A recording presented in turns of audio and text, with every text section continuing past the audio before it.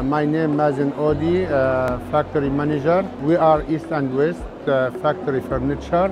Our factory established May 2000. Our staff uh, approximately 225 employees. Our major job in hotels, apartments, and private villas.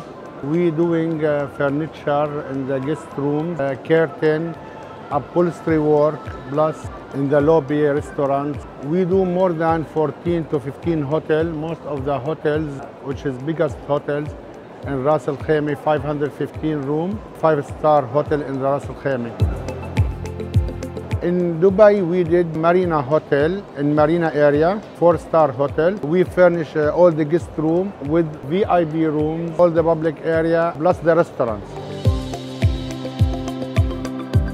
We not only in uh, in Dubai, we have opportunity to do in uh, Bahrain. We do one hotel. Uh, in uh, Kyrgyzstan, we do also one hotel, which Golden Tulip.